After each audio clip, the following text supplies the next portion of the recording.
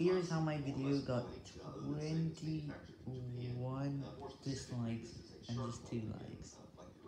There are 202 views on it, so it's just past the 200 threshold. It's the only video to have passed 200 views today, and it has the highest number of Okay, comments. so now that I've shown you all eight of the Tandy models, It's from to show you posting links to comments, depth of the and I And the reason is posting links to that comment, to that video.